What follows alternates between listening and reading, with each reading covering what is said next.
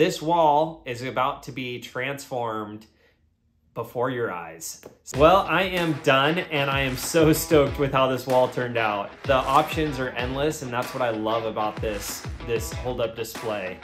They have an awesome website where you can build your own display wall and feature it out and it'll show you exactly what the total price would be for your dream design. And if you want to make a Gucci wall like this, hit them up and they will help you out. Their customer service is on point if you have any problems with any part of the process. I'm so thrilled that Hold Up Display worked with me on this project.